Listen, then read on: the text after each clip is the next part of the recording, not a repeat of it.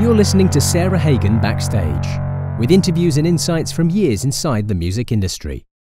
Join Sarah as she talks with masters of their crafts, finding out what makes them tick both inside and outside of the music business. Welcome to Sarah Hagan Backstage. My guest today, Dave Weckl, is an absolute drumming legend. He has not only played with an amazing array of musicians in multiple genres over his past decades in the music industry, such as Chick Corea, Mike Stern, Paul Simon, Robert Plant, and many more, but he made a name for himself as the ultimate drummer's drummer with his many drumming videos, masterclasses, and clinics. We are going to talk about the music and the teachings that shaped his personal sound, his journey as a drummer and musician, and the many incredible projects he has coming up. So come along with me as I catch up with Dave Weckl. Dave, welcome to the podcast. Sarah, thanks for having me. Glad to be here. Absolutely. You've been one of the most requested guests on this podcast. So it's that's nice. Really, really fantastic to make this happen. Always nice to be requested. Absolutely. Um, and how have you been? I, I got to see you over the summer, but um, how have things been for you lately? Yeah, going to the PAS thing, the, the, the, whole thing there in the summer was really was really cool to judge that contest with uh, with Aaron and that. That was really a lot of fun.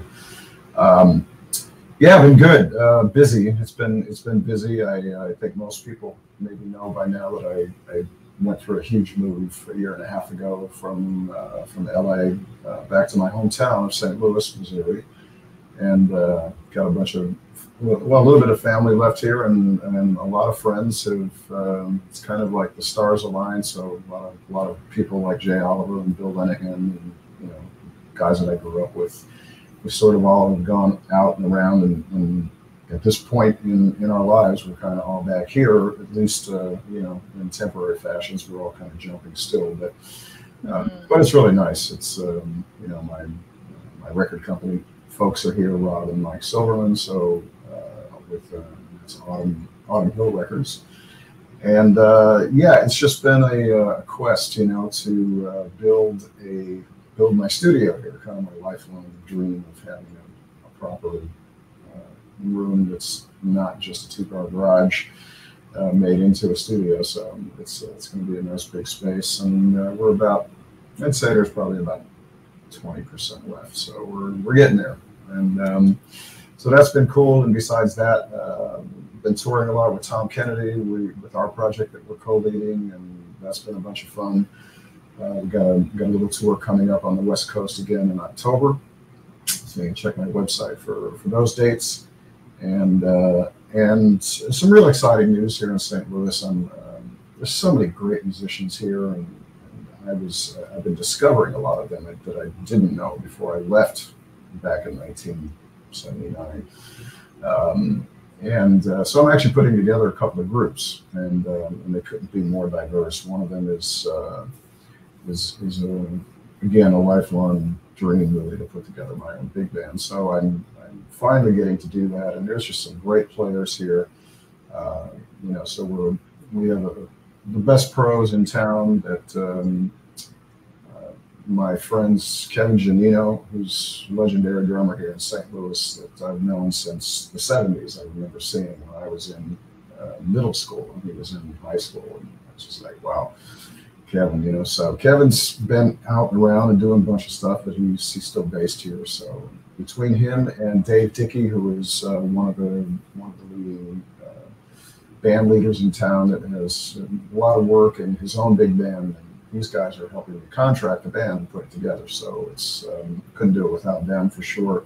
So we're we got the best pros in town, but we're also I wanted to include uh, as many kids as possible too. Um, so we have uh, we've got four of the uh, best all-state uh, guys that are in the band from uh, from different schools here, which is really really cool and exciting to include them. So and um, yeah, we just uh, we just had a rehearsal last week, uh, first rehearsal kind of meeting, get together, and and we played through some, uh, you know, just some old old charts that I grew up playing to from like Maynard Ferguson, Woody Herman, of course Buddy Rich, and, and um, you know, getting a few of my own songs arranged, and uh, yeah, so we're looking forward to uh, to the whole process of uh, you know getting it rehearsed, getting a getting a gig happening.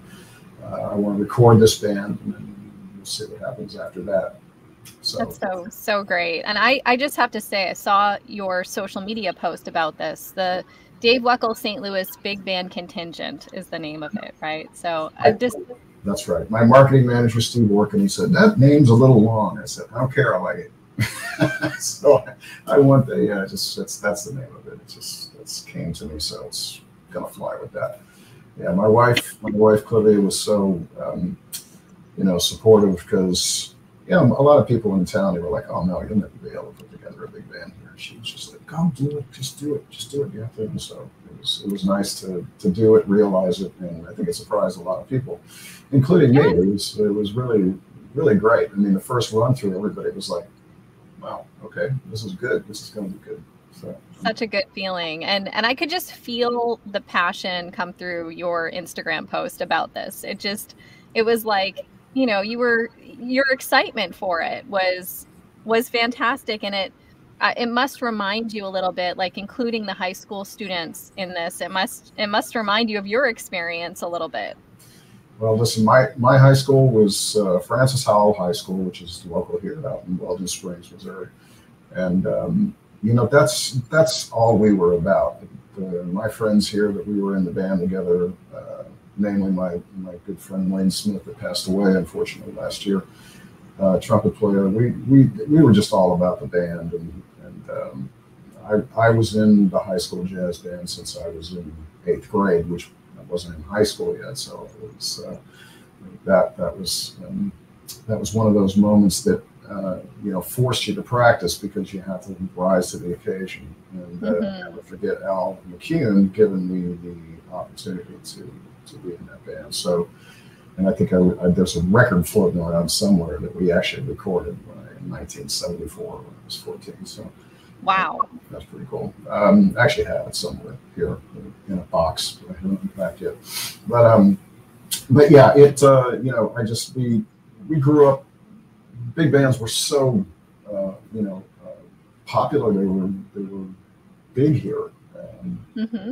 And uh, anytime Buddy or Maynard or Woody, any, any of the big bands, anytime they came through, it was like we, were all, we would just all go and hang and watch them. And, you know, like I said in the post, my father was kind of responsible for introducing me to the whole, you know, contemporary big band thing. And that, of course, started with Buddy. So it was, uh, you know, so, so playing a lot of these charts is, you know, it's just, uh, you know, I've had the opportunity to do that with with the actual Buddy Rich band with Cathy Rich and, in the past many times, and it's always been so cool. So, um, so we'll sprinkle the set with a few of those. And, that's like great. I said, I'm, I'm trying to get some of my tunes arranged, which we do have uh, one right now, um, and uh, getting another one from Tom Kennedy that uh, we, we posted a Latin thing online um, last year that, uh, that we played where four, four trumpet players joined us from uh, Slovenia. And, um, and uh, so that one's getting arranged, which will be a lot of fun.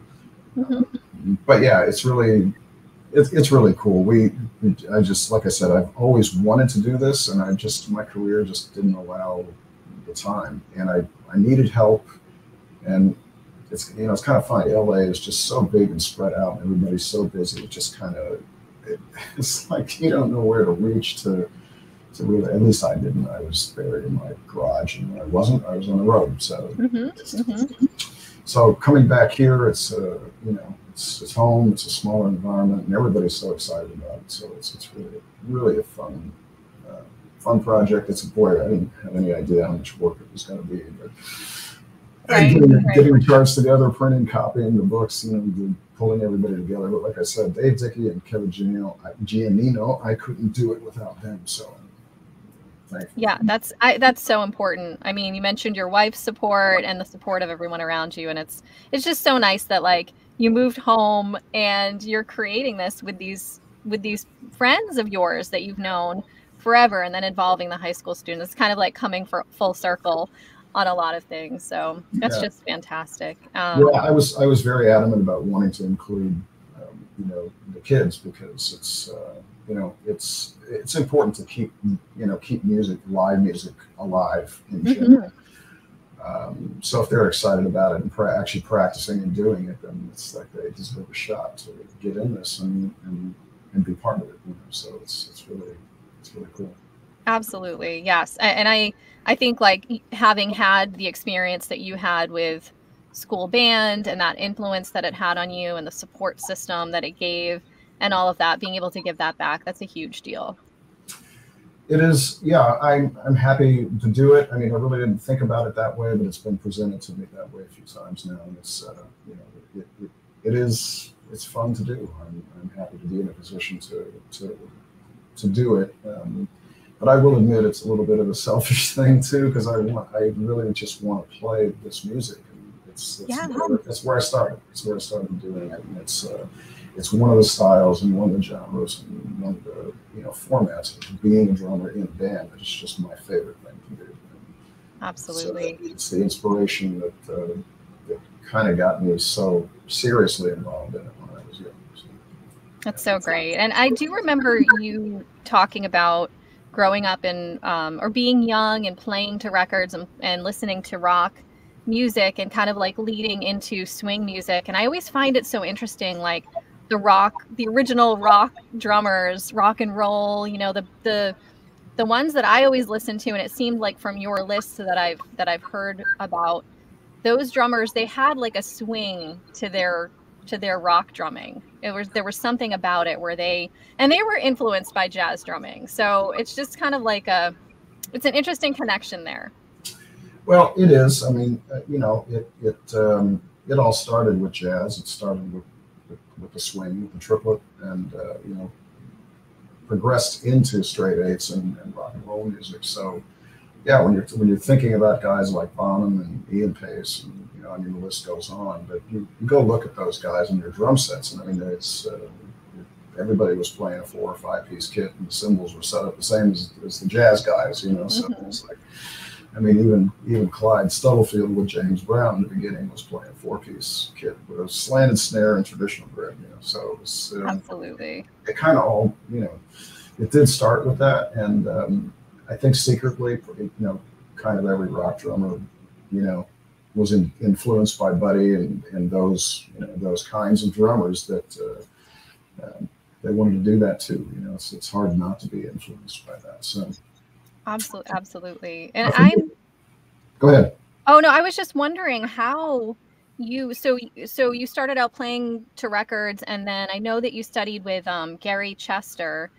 Um, and I'm just wondering how that transition because you you developed this really incredible style of playing. So you play all of these genres but really with your own feel. And I know that um you know Gary's kind of method on the drum set with having the the left side and the right side and it kind of like promotes the limb independence. And i'm just kind of like wondering how that affected your transition into what you created.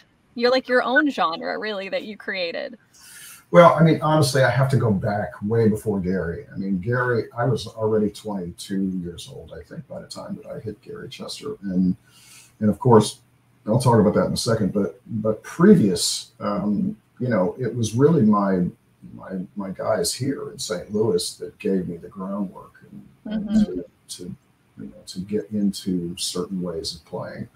My first teacher was uh, on on on a consistent, serious level was Bob Matheny. And Bob helped me um, get my chart reading together when I was when I was young, when I was 14. That's that's the reason I got in the band. I could actually learned how to read by then. So, um, you know, Bob was was um, was heavily in, influential in in giving me that really solid groundwork to start. And uh, and so it was a, there was a lot of reading going on with Bob. And then then he suggested I go see Joe Berger. And Joe, again, he was prepping me for college, so we were studying marimba. We were doing all kinds of different things and technical stuff, and and uh, and also kind of actually almost prior to those guys or around the same time, I took a few lessons with another drummer from St. Louis here called uh, his name is John DiMartino, and John, it's uh, only, because I only took a couple of lessons with him. I, I, kind of have forgotten to mention him along the way, which I feel bad about. But um, but I but we've we've reconnected, and all these guys are still here. They're still around, and it's like they're I'm including them in all these. You know, I invited them to the rehearsal. We, you know, we hang and talk a lot. So. Um, and Fred Pierce too, the, the studio drum shop is here. That's one of the oldest drum shops in the nation, and um, so these guys all go back to my beginning, you know. And um, so, you know, John DiMartino, I, have I've heard him reference it, you know, as being like the Steve Gadd of St. Louis back in the '70s, and, he, and it was kind of like that. He played he played this big drum set though. He had his own thing; it was very different, and he had a, a foot that was just ridiculous. And and part of that whole thing with his right foot, um, he played this pedal called the Monster pedal, which was built for Larry London and I still ha- I I got one of these pedals when I was 13, and I could barely press the thing down when I was that young.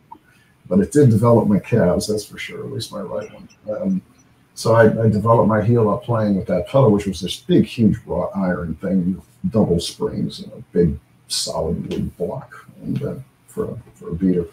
And uh, so that's kind of where I got my my foot chops together when I was really young. And um, and yeah, so and I would go see John play with a group here called Pisces Triangle, and, and it was just man, it's I've actually still got cassettes that I've since digitized and sent to him and shared all these things. So so that's kind of cool. Um, but yeah, between between John, Bob, and Joe, those guys were were really responsible for my foundation. And then of course I practiced my butt off. And I spent a lot of time in the practice room listening.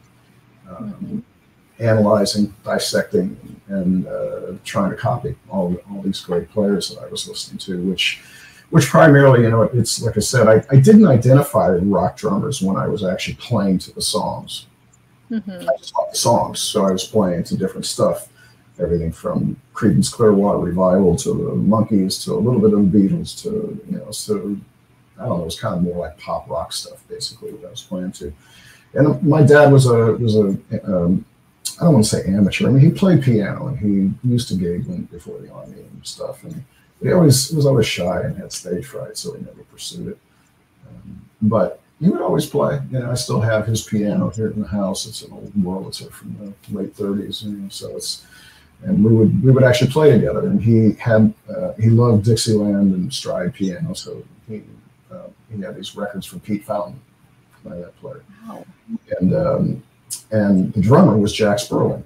And Jack was, um, I didn't know it at the time, but he was he was probably the best teacher a, a young kid could have to get introduced to jazz because he he played very clean. His drum sound was incredibly natural and beautiful, um, and and he played he played great. He didn't play too much, but when he did play things, it was discernible. I could I could actually figure them out. I could listen to them and and um, you know, he was he was great. He was just an incredible player, and I got to meet Jack later in life, which was which was a treat.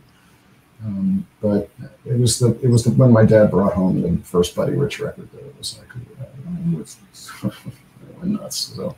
Amazing! It's amazing to remember those moments where you you know you've had you had like a revelation, you know, like about yeah, music. Exactly. Well, I mean, luckily, you know, like when I was around 15 or so, I, I I was uh, through the big band at high school.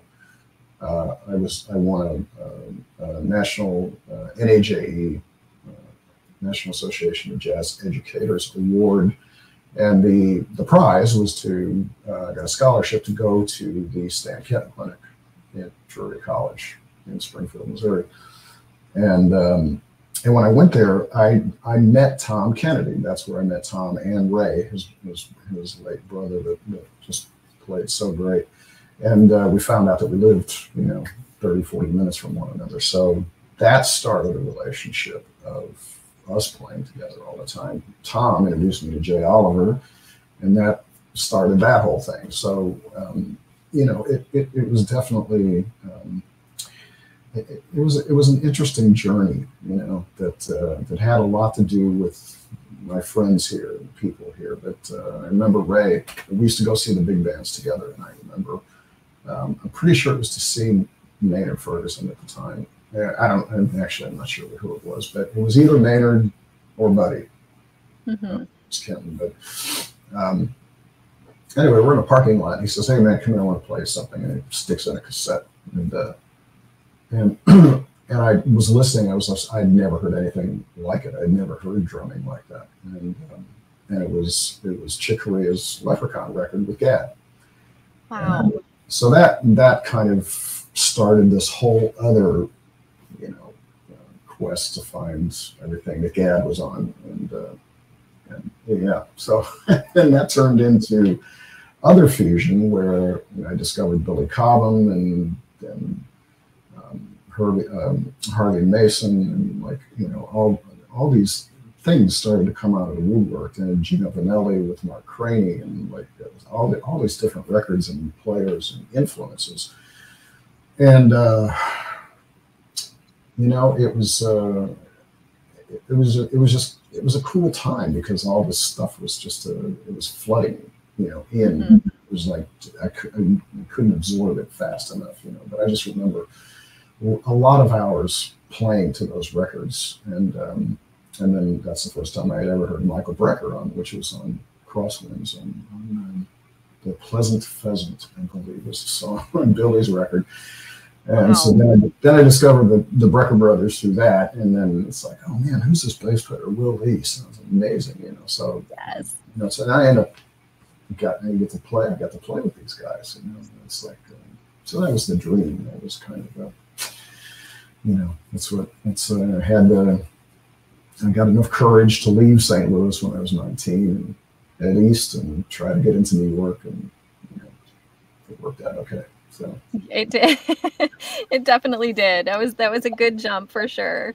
Um, and but I love I love that you know your influences aren't are your peers. You know, It- it's just it really is an amazing thing. And and uh, I think I read somewhere that it was it Peter Erskine that recommended you for your first touring gig. Was that right? yeah, not necessarily touring, but um, but it, yes, it was it was Peter that was really uh, responsible for getting me into the scene in New York. Mhm.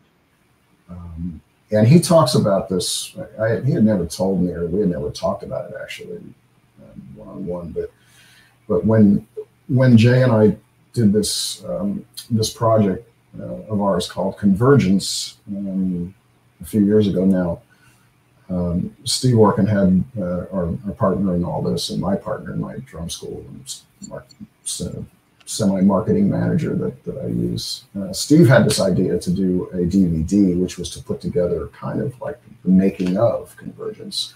Mhm. And he got a few interviews, and one of them was Peter. And Peter actually talks about that night. And I was just like, wow, really? You know, I never knew that, you know? So it was, Wow. it was kind of cool, yeah. Um, That's amazing. That's amazing. I mean, Peter, an endorsement from Peter, especially like early on, is is such it's such a great thing. I mean, he's just he's any, he's a any- legend. any endorsement from Peter at any time was is, is something to, to value and cherish. So I, yeah, that night that I'm referencing was um, this was with a band called Nite Sprite, which was kind of when I got to college at the University of Bridgeport in '79.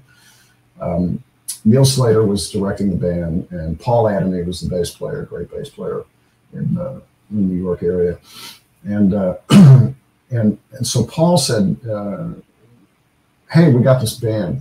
Uh, he's playing with this band with Brendan O'Keefe and Andy Block. And it wasn't called anything at that point, or maybe they had a different name. And and then Fred Vigdor, who was a sax player in, in at the Bridgeport University, um, we, we pulled him too. We all, me and Fred joined this band. And um, and we started because Brendan was writing all this stuff, Andy was writing stuff, but I wanted to do some some chick tunes, you know, and um, and I was, you know, at that point heavily influenced by Gadd and and uh, you know, Nite Sprite was one of my favorite tunes with Anthony Jackson. And talk more about that in a second too, because Anthony was responsible after Peter. So. Um, so anyway, yeah, we started doing Nite Sprite, and said, "Hey, man, let's name the band Nite Sprite." So Nite Sprite became pretty famous in its little, you know, uh, local area there of playing gigs, and eventually we got we got to work at the Brecker Brothers Club in in New York, Mhm.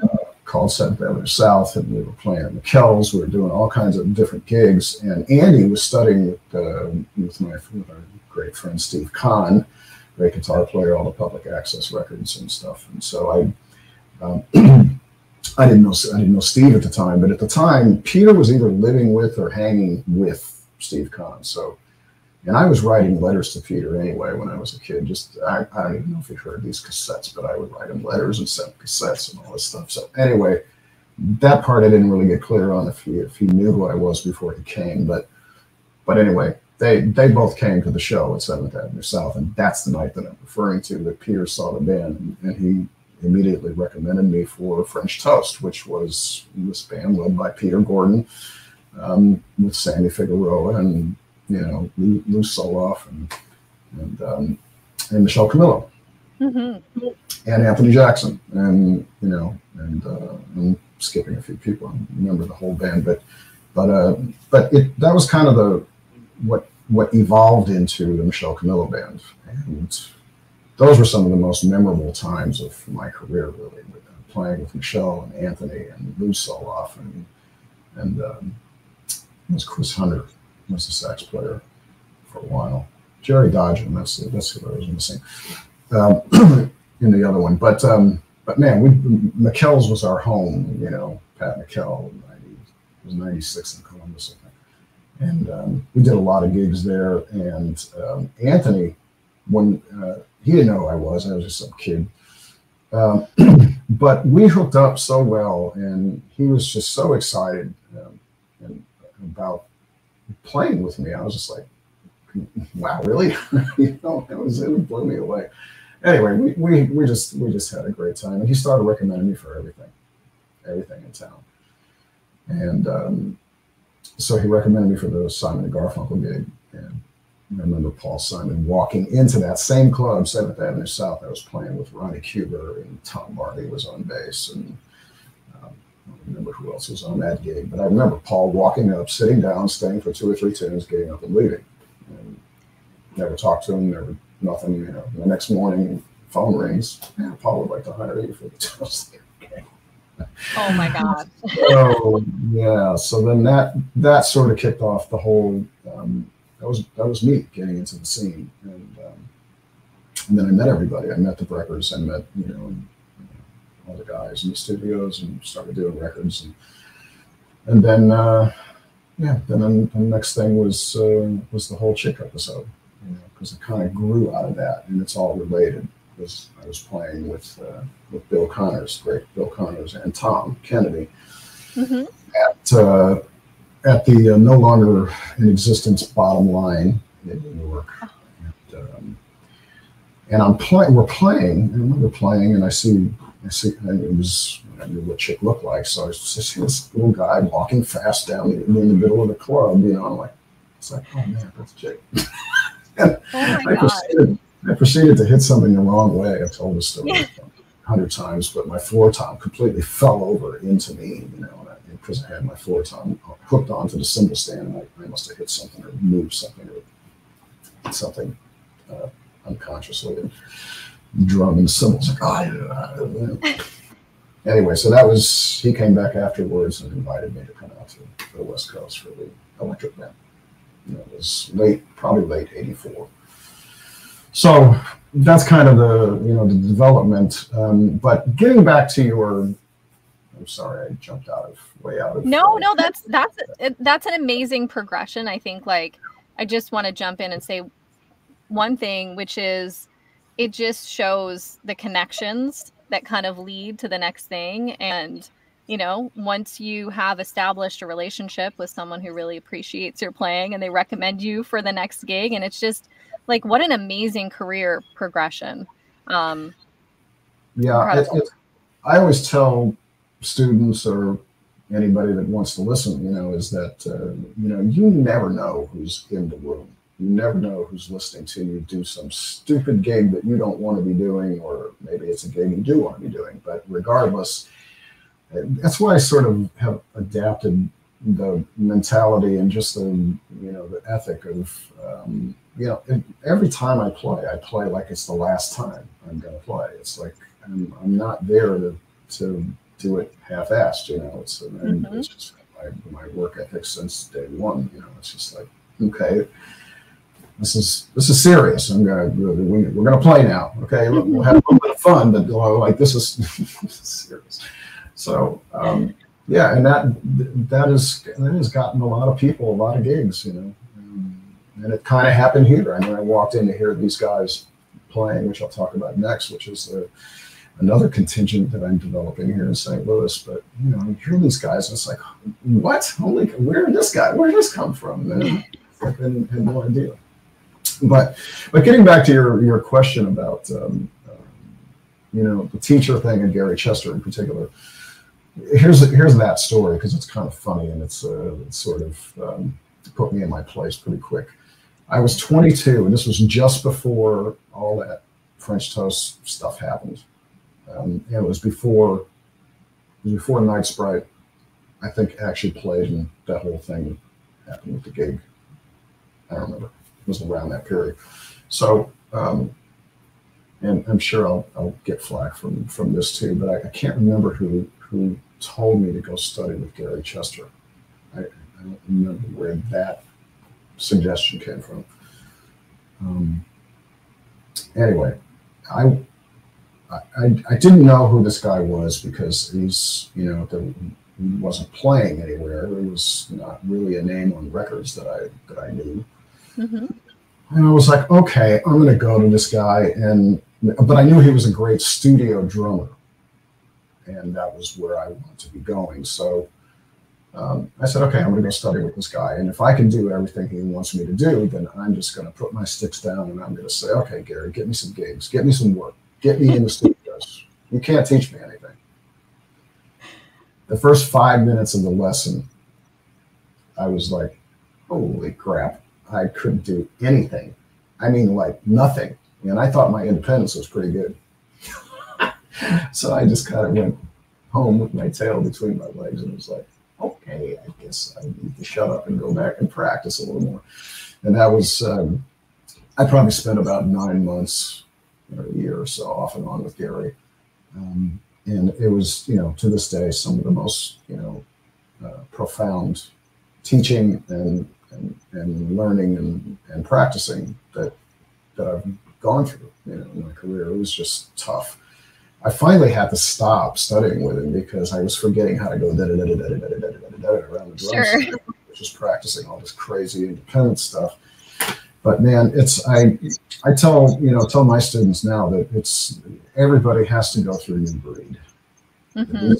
One you got you, you have to because it's just so good. It's just so um, um, uh, important to to separate the limbs. And you know, Gary's whole thing is using the voice fifth independence. So you're cut, you're singing quarter notes, you're singing what you're playing, you're seeing individual limbs, you're, you're leading with the right, leading with the left. It's like there's all this stuff going on, right? So, um, and and I think the biggest thing that it helped me do was it improved my concentration level to be very consistent um, because I could actually consistently hear what it was that I was doing in a way that I couldn't know how to listen to myself doing that and before Gary. Um, by doing all of that kind of microscopic thing and focusing with the voice on the individual limbs and the individual, um, you know, inner uh, inner rhythms, inner inner grooves, beats that were going on within the whole groove, within the whole thing. Mm-hmm.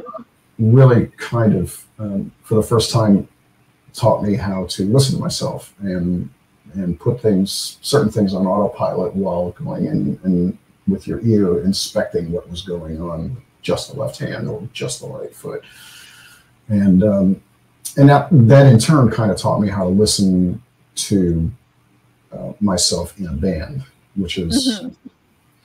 uh, and, and, and, these days with in-ear monitors and things like that it gets uh, it, it's a little more hard to do that um, because you don't really know what you're listening to.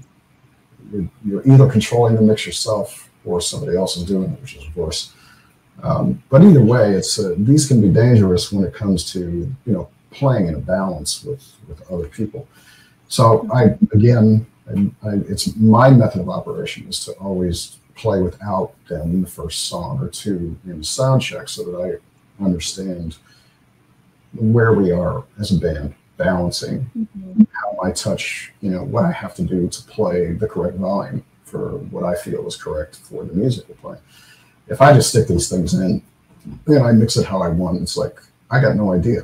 I'm just um, I'm playing in the dark because uh, there's no reference. It's it's kind of right. false reference, you know, if you were. So that's sort of my, my method with the in ears. That but um, um, you know, I I prefer to play without them if I could. But it's you know we all know that's not safe to do that for your hearing. So um, uh, the in ears and um, earplugs and such has definitely saved my career. Uh, I would say.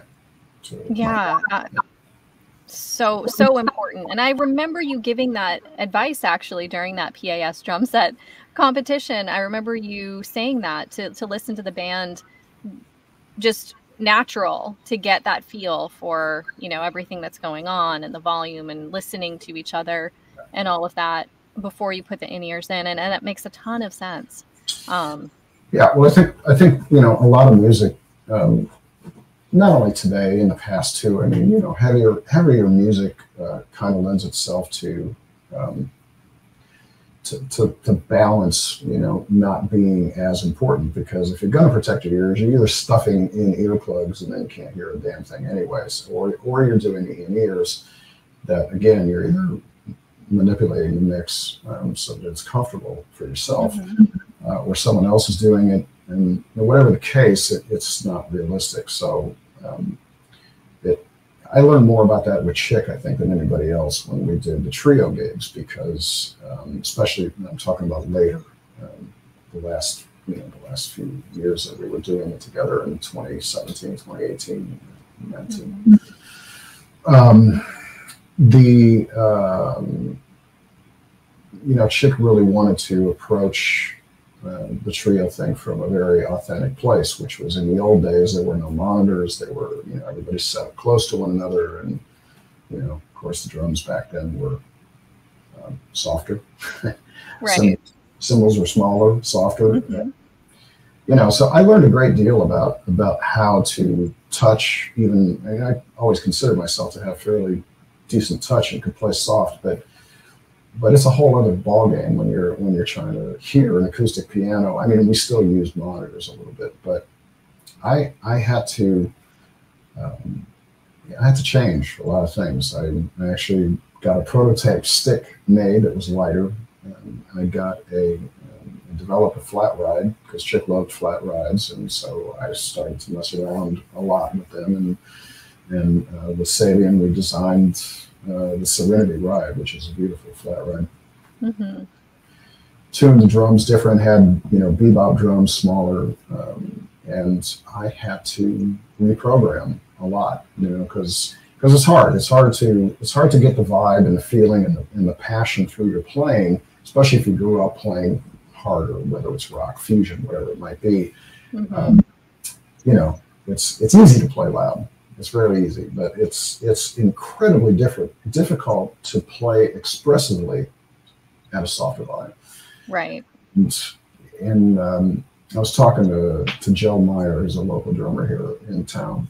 I was just talking to him yesterday, and he said he, he studied with um, uh, with a bass player here uh, in town, and I'm spacing on the name. Sorry, Joe. And but he said it, he said the lessons with this guy were so great because he said the first lesson he walked in, it was an acoustic bass and and, and there was a set of drums there and, and he said the guy said, Okay, the first lesson is um, if you can't hear me, you're too loud. And he was playing acoustic bass with no amp. Wow. Yeah. So you have to, you know, so that's like that's brilliant. That's that's that's yeah. great. I think everybody should have to do that because you then you, you understand. It's like okay, let me let me go get something and pad down the bass drum and put a right. piece of on the cymbal or do something if I don't have exactly the gear that I'm supposed to be using for this. I got to hear this guy, and he wouldn't let him play brushes. He said no, oh. got to use sticks, and so you have to hear me. So you learn a lot about touch and playing music when you have to play it softer and still, like I said, create the vibe, create the feel. Mm-hmm. That's, a, that's, a, that's a challenge. absolutely. I think dynamics are one of those things that is really it's really helpful to have lessons from someone. It's helpful to have a mentor. It's in that case because that's one of the things that you don't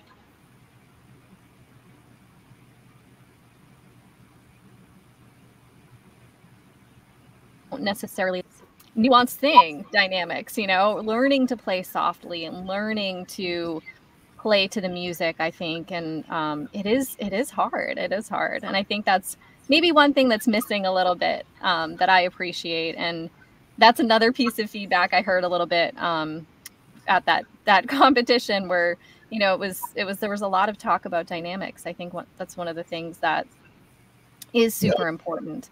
Um, and you actually i mean you well you have you have lessons you teach. Um, i love that you do private zoom lessons. I actually didn't know that. And um, that's fantastic. I mean for I, I feel like modern times and you know through the pandemic and post pandemic with all the technology it's been an amazing opportunity for drummers to connect with someone like you who they might want to take a lesson with. Um, but previously, you know, it was probably tough. You were on the road all the time and technology wasn't what it is now. Yeah. Well, you know, the pandemic was certainly good for that, um, for a lot of people and the companies too, because the, the technology advanced pretty hard because it had to. It was, it was mm-hmm. to like make it work. So, um, I had always wanted to do online lessons, but I just completely blew it off because of uh, you know the the volume and uh, the sound of the drums and like that whole thing. And i was just like there's no way unless you like really like stop everything else in life and like dive into understanding how to do it and take weeks if not months to, to like get it happening. So okay the pandemic came along life stopped. So i had the time to do it. And there was like no uh, excuse. There was I, I, had to do it because it was it was, it was as well as a, um, um you know, keeping me sane and, you know, giving me something to do, it was uh, survival. I mean, I had to replace, you know, touring uh, income that went away. So I gave it a shot, and I, I uh, luckily I I um, I talked to Dom Famularo because I know that he was he was one of the the heavy online teachers, and I said, Dom, who do I talk to? What do I do here? He goes, Oh, you got to go see Jim Toscano. I said, okay. So I, I contacted Jim, and now Jim is like the guru. I said, because I've sent everybody to him because people That's ask so me, don't ask me, go to Jim. Just he'll tell you how to do this because he stays up on all of the current stuff. And um, and so yeah, I went and got my switcher, and you know, I already had my camera scene kind of happening, lighting and everything because of my um, online school, which had been going for a year already when the pandemic hit but the but the live thing, the streaming and like figuring out how to do the vocal and like how I was going to get the sound, and then then I really got into it. I figured out how to get you know my Pro Tools rig and my recorded sound through the switcher and into the camera and into the thing, and then it's so I, I developed a pretty a pretty cool one. And um, when I was when I was at a studio that I could do it at, I was including my one in LA for a, a while. I was doing live online uh, we called them hangs after, after a while. And uh, and I would always have fun getting preparing for the week. It became my gig. You know, it's like yeah. I because I was going to be live in front of however many people tuned in, and it's like, well, okay, if I'm going to be playing live, I got to I got to keep my chops up. This is the gig, you know. So it was inspiration to do that. It's like another thing I tell students a lot is to is to create the inspiration to practice. You know, because a lot of people Absolutely. will say um, a lot of people will say, "Oh, I don't, I don't have anything to practice for," which, of course, is ridiculous. If you are wanting to progress, is you know just the just the ability to be able to play better is a reason to practice. But um, but a lot of people have problems if they're not practicing for a real reason. Like, what's the gig? What are they practicing mm-hmm. for? You know. So I kind of took it upon myself to say, okay, this let's create a gig. And, you know, the yes. online hang was was it. And so every week or every two weeks, you know, whatever it, it was, um, put me in that position. And in the technology, like I said, I just kept uh, kept working at it and, and, getting better with it. But um, but that's how I do it. I, I use Pro Tools and my you know my system to uh, to be the microphone. Uh, mm-hmm. session. You know, that's what we're doing now, and basically talking through a Pro Tools session, even with this, because um, that's where the rest of the mics are coming from. So, sure. uh, yeah, so it, it's um, the online lesson thing. I like I said, it, it got uh, I was was very busy in the first year of the pandemic, and uh, and I still do it. Um, I still do it as much as I can. Like like I said, right now it's uh, thankfully we're back out to touring a little bit more, uh, and I'm uh, with these two bands now going on in St. Louis. Um, I'm really busy with that, but building my studio downstairs here is like uh, it's a nightmare. It's like yeah. That's been the focus. So, but when I get it back going, I'll be back on doing a lot of different stuff. But yeah, I'm set up here in my office with you know these silent heads, and know, silent cymbals. So, so I can definitely teach. Uh, mm-hmm. and I, um, uh, so yeah, any, anybody wanting to do that can access uh, access me through my website. And I think I think the topic or the tab is learn or something like that. But um, yeah, there's kind of a form to fill out. You hit the email and I'll get back to you. Yeah, absolutely. I, I, will link all of that too in the uh, podcast um, show notes and in the YouTube description too, so anyone can can find you there. And I just I'm thinking back to you writing letters to Peter Erskine, and that's that's what I did too. I would write to, you know, the drummers that were that were influential to me, and not only tell them that, but maybe ask for some advice, like that kind of thing. And now it's amazing though that people can contact you through your website now and actually book a lesson. Like that's fascinating to me and and it's just the that's like the best thing I think that came out of the pandemic really. Yeah. Yeah, I mean it's it, I mean it gets a little bit a little bit heavy sometimes because you know the, the downside of the social media thing is that everybody thinks that you know you can just private message somebody and that you know right. it's going to hit you back. And it's like okay folks it's like i you know it's i don't want to be a jerk here but it's like there's not time. There's just not time to answer everybody personally. And then it's like you got to have a little bit of you know personal space too. So i try to keep i try to keep the website for the business you know. Yes. so i was tell people if they if they hit me on the messenger thing it's like mm, you know you got to go through the, the channels you know because i'm just you can't do that with everybody. It doesn't work. So yeah, yeah. But but that's why we we have the website designed to you know to get that communication going. And the, I mean the real cool thing uh, where I do I do interact with everybody uh, is is in my school, my online school. Mm-hmm.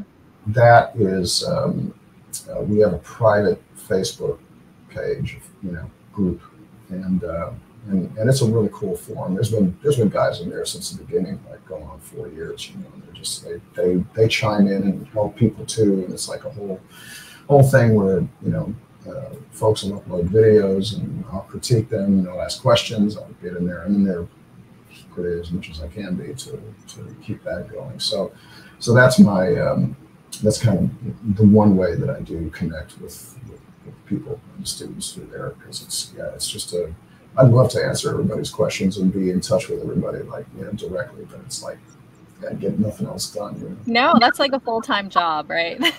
it is. I mean, really. Yeah, well, I'm my own manager. I always kind of always have been. So it's uh, you know I, I, sometimes don't get out of this office you know until the afternoon, just trying to keep up with you know current things, what's coming, thinking about hustling the next thing after that. It's like man, it's it's pretty nonstop. Yeah. So. And now, and now, like you said, you're back out. You're playing. Um, I I did see that the drum fantasy camp happened uh, just recently, right? You were with um, yeah. Mark we, Guiliana and Steve Smith and Simon Phillips and Thomas Lang. I think that was the. No, Lang, Lang, was, wasn't there, but but oh. it was uh, but it was just me and me, Simon, Mark, and Steve, and uh, and then Chrissi Poland with the, with the band with Vinnie Valentino, and it was yes. uh, it was just a we, we had a great time. It was really really good. It was it was a lot of fun, and um, it was nice to be nice to be in LA again. Kind of, that's uh, yeah.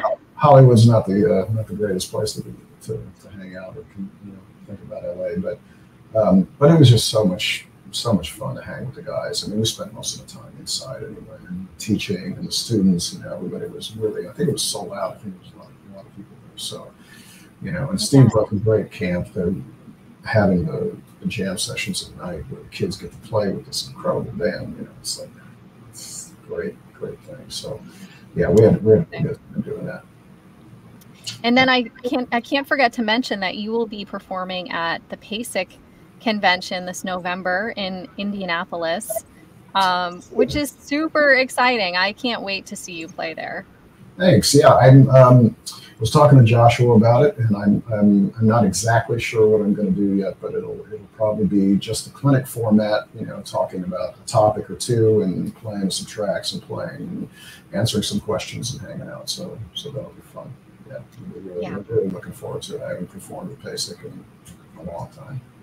Yeah, it's de- it's definitely been a while. It, it's um November 9th through the 12th is the PASIC convention before I yeah.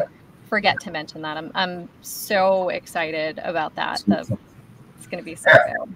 I have to backtrack just a little bit because I wanted to I, I, wanted to talk just a couple seconds about this other new group that I'm putting together, which you know the big band is called the the St. the St. Louis Big Band Contingent, and so I'm I'm also starting another group. It's at the moment it's just four pieces, um, but it's kind of just like an R&B, you know, uh, pop groove um, band.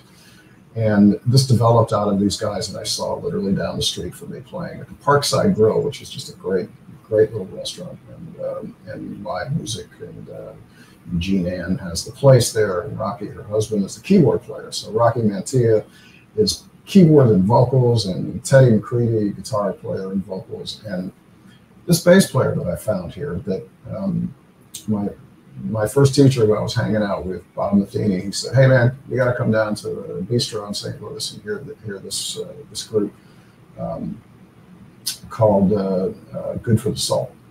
And I said, "Okay, cool." So I went down there, and this the group started playing and this bass player from the first note i couldn't take my eyes or my ears off of this guy. And i was like who is this guy? Where did he come from? Because he's not a youngster. I should have maybe known him by the when i was here but i think he's just a little younger than me and i just didn't know that circle of people. This guy's name is john kane and i swear to god i haven't heard it's like this guy is coming from like Chuck Rainey and Willie Weeks and like uh, all of the, the, you know, Anthony's in there a little bit, but it's, man, the way this guy plays, it's so funky. I mean, he just plays all the right notes and it's, you know, um, it, it's such a vibe. And I just, I mean, it almost brought me to tears at the gig. I walked up to him. I said, I said, John, I, I don't know if you know who I am or not. You did, but, but I said, I got to play with you, you know? So, so we sat in at a place a few a couple weeks later, and and it, it, the hookup was as good as I thought it was going to be. So I said, okay, I, I, want to start this group, guys. I want to do the St. Louis Groove Contingent. So nice. I'm starting that as well, and we got our first little gig coming up on September 10th um, at the Parkside Grill. We're supposed to be outside just to do a little, you know, kind of you know, fun fun gig. And then my idea is to record this group um, and along with the big band too.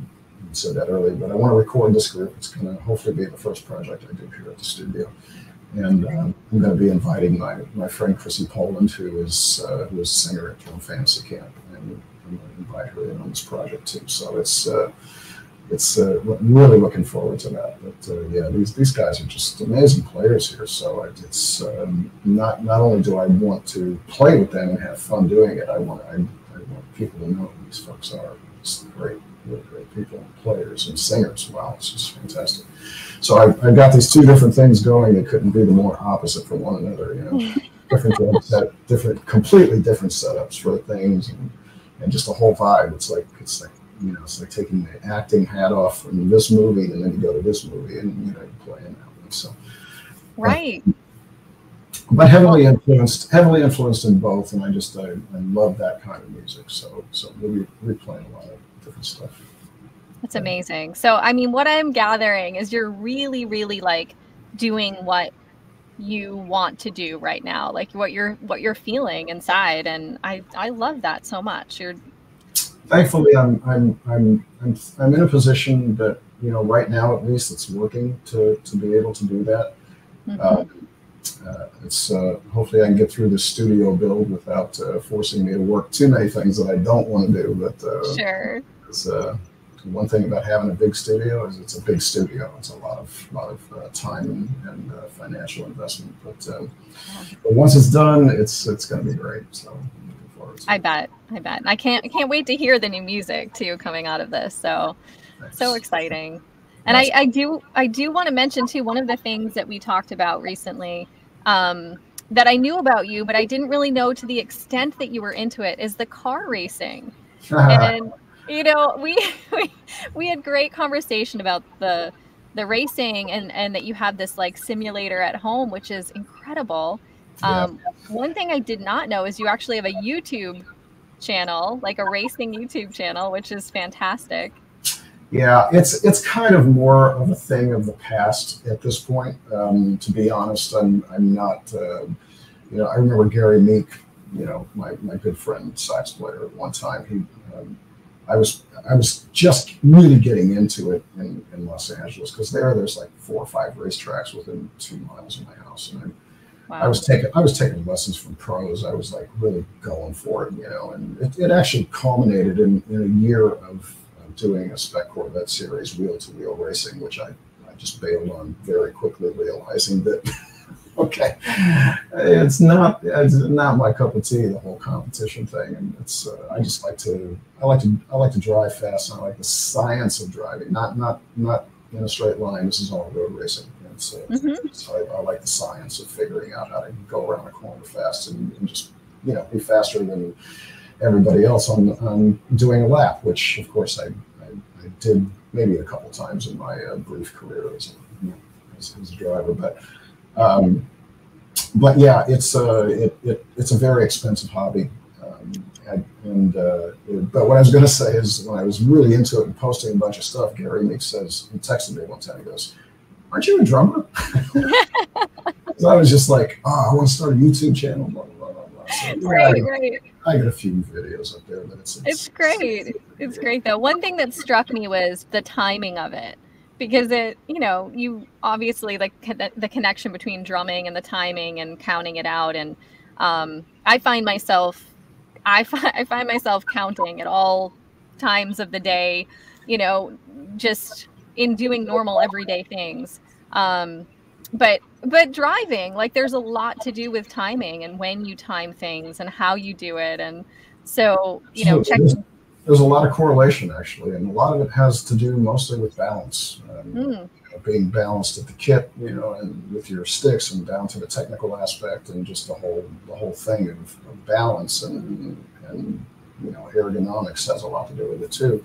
Mm-hmm. car it's like keeping the car balanced so that there's you know, even weight distribution is kind of a you know there's times to put more more you know downforce on the front wheel so they turn but you don't want to do that going around the corner. You got to put the, put the weight back there again if it's if you got really wheel drive. So yeah it's a lot about balance and correlation timing with you know there's a lot of footwork too in a manual transmission so that you know I, I, I found that I could develop the, uh, the, the heel toe technique, you know, with right. uh, keeping the revs going at the same time shifting and braking. And I could get that pretty easily because of the pedals and all this independence, you know. So absolutely, yeah, that that was fascinating. It just it's an interesting thing, like you say.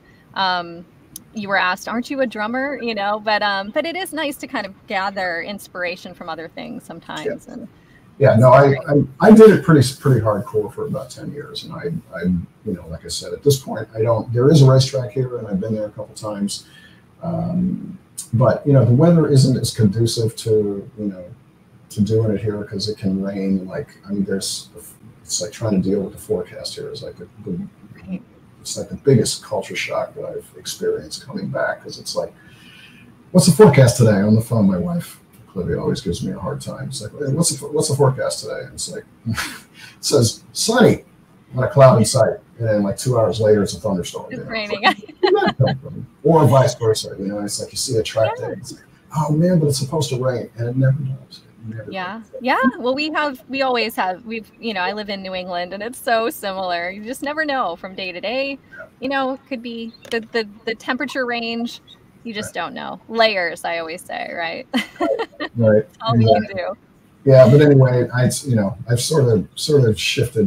You know, uh, you know it's uh, yeah. If I if I do drive these days, like you said, most of it's on a simulator, which is not not a not a crazy motion simulator or anything, but it's it's it's a nice rig with you know mostly Fanatec gear for those of you who know, and um, you get on there and iRacing and you know get to race people in different parts of the world and it's online stuff and it's it's super super really high resolution really looks if you watch some of the stuff online it looks like a real race the graphics are unbelievably incredible.